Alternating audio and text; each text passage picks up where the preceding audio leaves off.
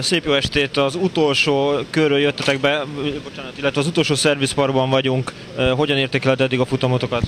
Hello, teljesen jó igazándiból, nagyon jó a verseny, szoros a küzdelem, nagyon közel vannak hozzánk hárman is.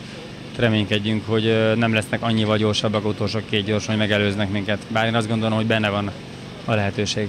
Milyen volt az éjszakai gyors, az első kör? Hibátlan volt a lámpáimmal, nem voltam megelégedve. Százszázalékosan meg elég sok vadugrált, és egy, egy párszor el kellett feleslegesen bennem a gáz miattuk. Rosszul vannak beállítva a lámpák? Azt mondtam, hogy nem voltam megelégedve, akkor nem jól voltak beállítva. Ö, Mi az, ami, ami pozitívunként értékelsz a futammal kapcsolatban? Teljesen jó minden, igazán jó pályák közel vannak, a helyiek közel a pályák. Ö, tetszik minden, jól lett takarítva, a sátai gyors, ugye meg lett fordítva.